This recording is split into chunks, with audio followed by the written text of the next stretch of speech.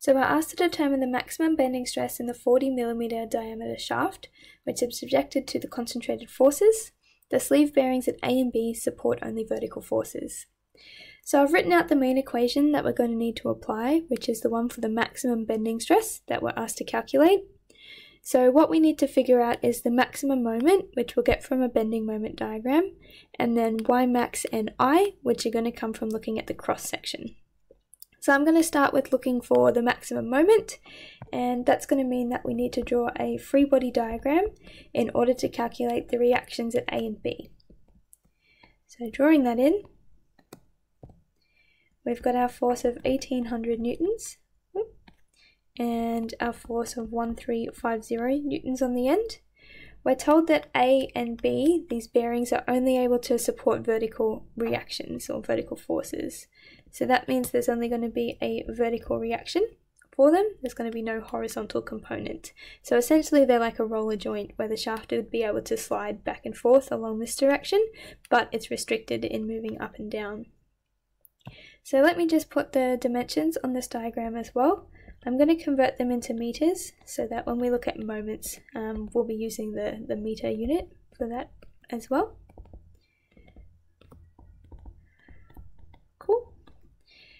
So we need to go ahead and find AY and BY. I'm going to use our equilibrium equations and I'm going to start by summing moments about point A, which is this one on the end. So AY acts through it, therefore it's not in the equation. We then have 1800 newtons acting at a distance in here of 0.3 and it's going to be clockwise. We've then got BY acting at the distance in here, which is a total of 0.75. This is going to be anti-clockwise, so positive. We've then got 1350 acting at the full length of this beam, which corresponds to 1.125 meters. And this is going to try and rotate clockwise, so it's negative. So By comes out to be 2745 newtons. So now we just need to go and find AY, which we can get most easily by summing forces in the y direction. So AY is up, 1800 down, 2745 up, and 3, uh, 1350 down.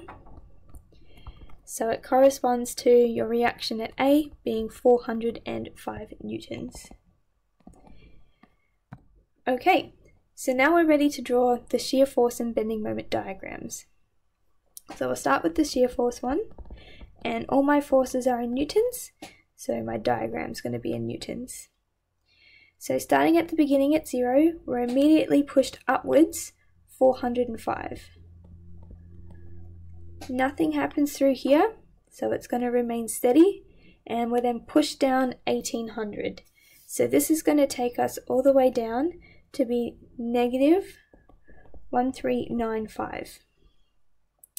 Again, nothing's happening through here, so we remain constant, and then we're pushed up 2745. So that's going to take us all the way back up again. Um, it corresponds to 1350 nothing happens again through here, and then finally we're pushed down 1350, so that takes us back to zero. So that becomes our shear force diagram. Now really we're not interested in the shear force, it's just a tool for us to be able to now get the bending diagram. And the units for us are going to be in Newton meters, since our forces are in newtons, and I've now drawn all of our dimensions in meters. So bending moment diagrams depend on couples, which we don't have, so we can ignore that, and also areas in the shear force diagram. We're essentially taking the integral here by looking at the areas under the curve. So starting with uh, this part in here, it's on the positive side of the shear force diagram, so we would be, expect it to take us upwards on the bending moment diagram. Now this is flat on the shear force diagram, which would mean that we're going to get a diagonal on the bending moment diagram. So it goes upwards, and at this point here, we need to add up all of the area that we've covered so far. So it's going to be the 405 for the height of the rectangle multiplied by the width of it, which corresponds to the 0.3 meters. So this ends up being 1 to 1.5. Um, again, units are Newton meters. So now we can look at this part of our diagram. It's on the negative side, so we would expect it to pull us back downwards, and we can work out how far. So it's going to be where we started, which was 121.5, uh, minus the area in here, which is 1345, times this width. It's not very to scale. Maybe I should fix that a little bit. Here we go. So this distance in here should be the one, um, sorry, 0 0.45. And it ends up being that you have a moment in here of negative 506.25. So finally, the only bit left um, is this part of our area in here. Again, it's on the positive side, so it should take us back up. And because it's the only thing left, it really should take us back to zero, but you can check. It's where you started, which is negative 506.25, plus the area in here, which corresponds to 1350 times the width of it, which is the 0.375. So fingers crossed, if you type that in, it's going to take you back to zero, and it does. So the reason we've drawn this diagram is because we want to know the maximum moment that we can get in our beam. And at that, we want the absolute value of it, so the positive version. So the biggest number that we can possibly get is 506.25. So that becomes our absolute maximum um, bending moment, and the units are in Newton meters. So that's that part complete. If we scroll back up, all we need now is Y max and I, and we know that we have a cross section that is circular um, and has a diameter of 40 millimeters. So let's go down and deal with this.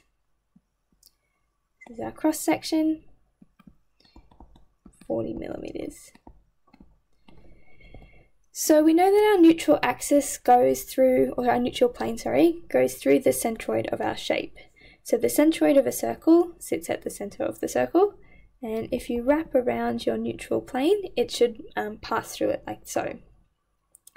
Now, the maximum distance that we can get away from this, um, this axis here, if we go upwards, it's going to be half of this, so 20 millimeters.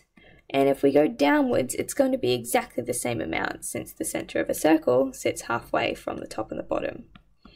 So Y max in here is going to have to be 20 millimeters. And of course we take the positive version, so positive 20 millimeters.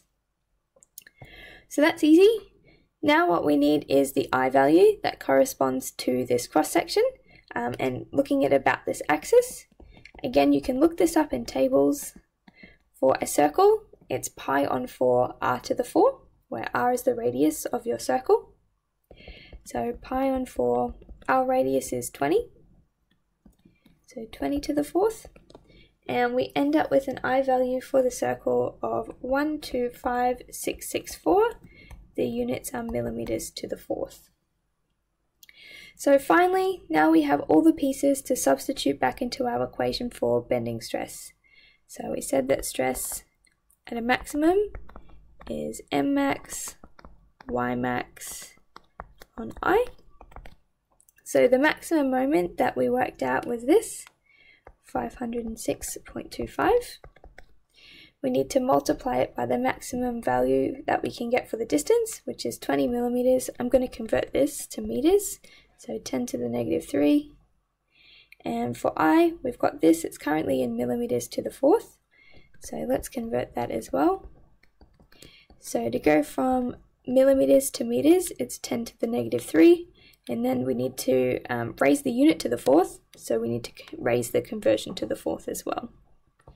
So this here is going to come out in base units since everything was converted. So it's about 8.06 by 10 to the 7 pascals. And then because it's such a large number, if you want, you can convert it. So if I go to megapascals, divide by 10 to the power of 6, which makes it 80.6, and units per megapascals. So that's the final answer that the question was looking for. So that's all there is, and I'll see you in another video.